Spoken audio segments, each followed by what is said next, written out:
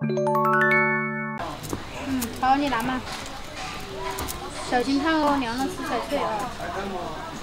老薛现在在四川成都的魁星街，这边有一家糖油果子非常不错，咱们今天就去看一下，品尝一下。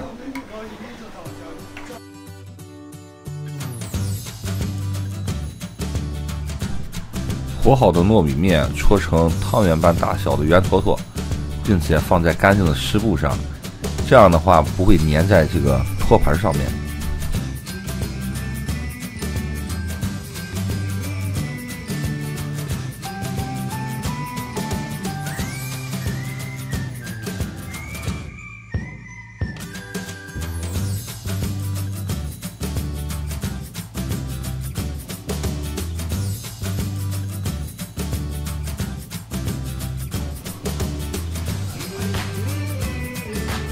锅里面放的是油和红糖，小火耐心的搅拌，直到把糖融化掉。火不能太大，油温不能太高，不然的话糖就会变苦。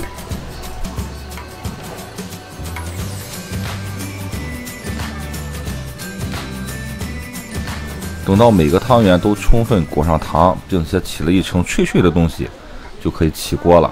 然后再撒上一层白芝麻就可以了。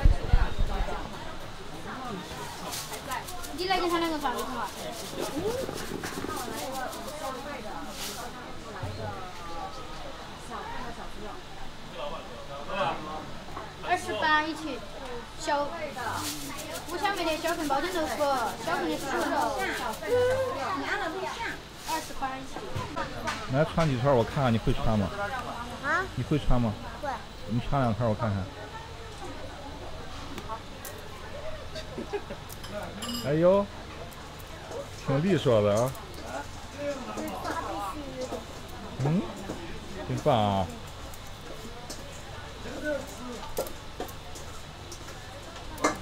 一开始在什么地方干？一开始我们就蹲三轮嘛，在就在对面。蹲三轮呗？啊，蹲三轮都很多老买子的，我们最开始。一开始生意没有现在好呀？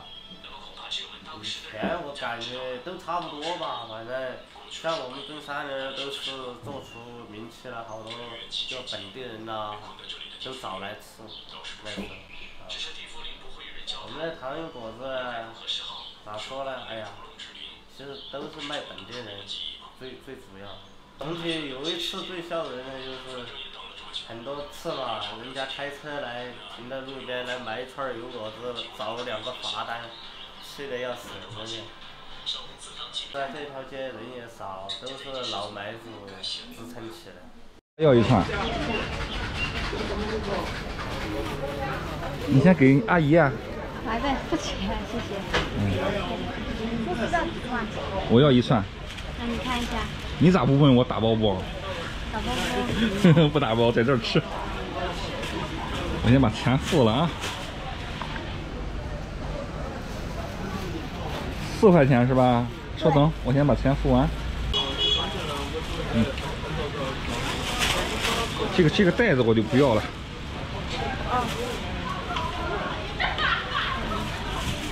现在是劳动小能手，啊啊！老薛来到了这个叫魁星街，小吃特别多啊，咱尝一下这个糖油果子。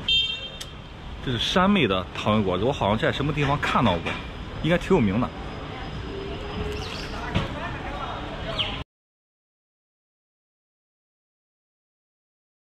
外边裹了一层红糖，外焦里嫩的。这个是糯米的，油炸的。我看在炸制的过程中，然后放的这个红糖，嗯，很甜，嗯，真不错。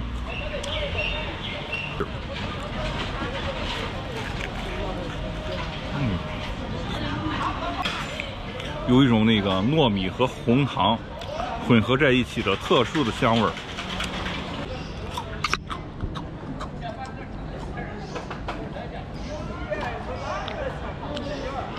这边基本上都是小吃。